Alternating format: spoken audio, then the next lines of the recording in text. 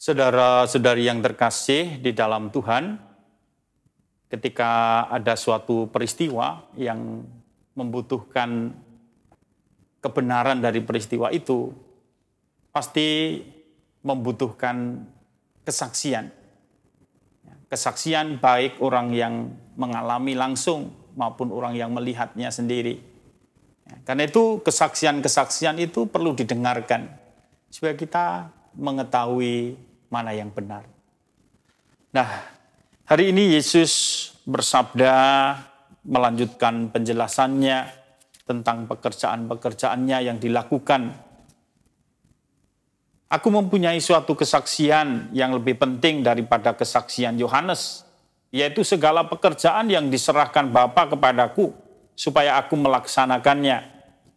Pekerjaan itu juga yang kukerjakan sekarang, dan itulah yang memberi kesaksian tentang aku, bahwa Bapa yang mengutus aku, dialah yang bersaksi tentang aku.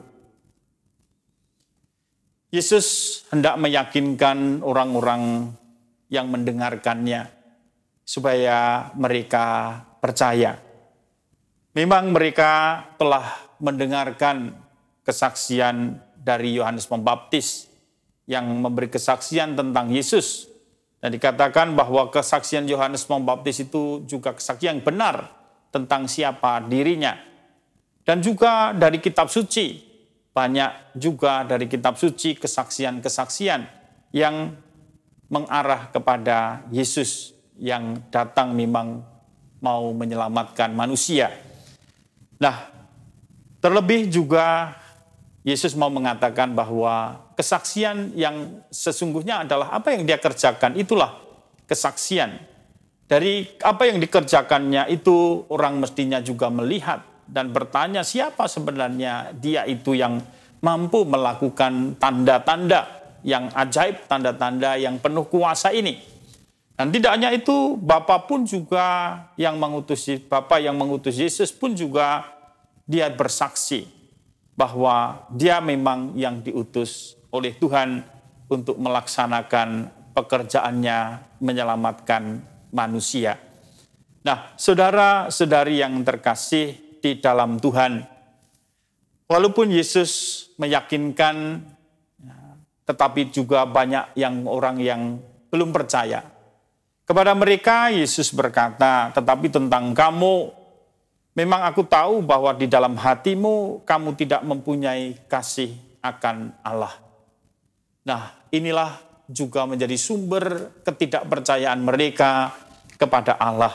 Karena mereka tidak memiliki kasih kepada Allah. Kasih yang sesungguhnya kepada Allah. Apa yang mereka lakukan kebanyakan hanya ingin supaya dilihat oleh orang. Nah, supaya mereka dikatakan sebagai orang percaya. Tetapi di dalam hati mereka, mereka tidak sungguh mengasihi Allah.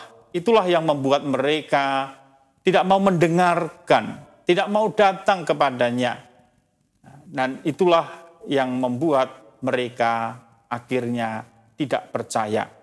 Nah, saudara-saudari yang terkasih di dalam Tuhan, atas kedegilan hati itulah Tuhan sebenarnya juga ya, marah atau kemudian juga ingin menegur mereka. Ya. Nah, tetapi Tuhan pun juga berbelas kasih kalau orang itu mau bertobat.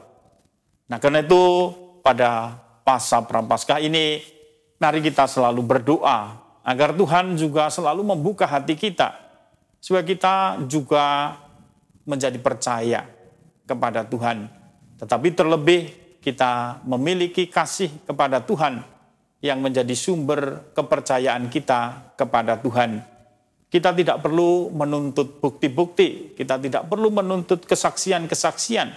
Pengalaman kita sendiri dengan Allah itulah yang memberi kesaksian tentang siapakah Allah di dalam hidup kita.